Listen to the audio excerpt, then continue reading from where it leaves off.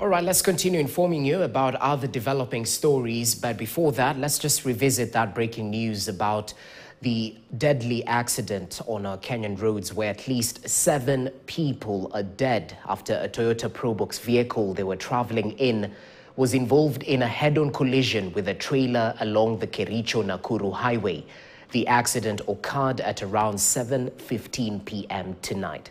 Now, the trailer, which was traveling towards Kericho direction from Nakuru, plunged into the ill-fated vehicle, which was being driven into the opposite direction, tearing it into two. A survivor in the Probox who sustained serious body injuries was rushed to a local medical facility.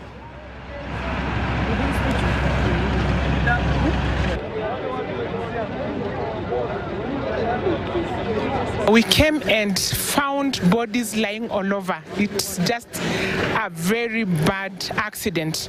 Um, from what I've, I've, been told by people, it's that um, the Probox, which was carrying almost seven people, seven people, did what?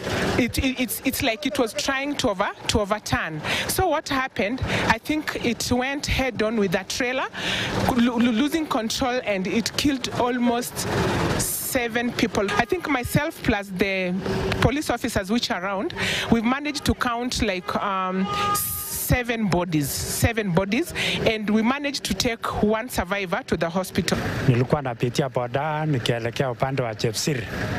Then all of a sudden Probox ikaenda mbele, alafu trailer ikakuja, they add head-on collision. And then the Probox was being cut into two and then the bodies were being strewn all over. Sijawahi kuona accident kama hii. It is really devastating. Well, kindly.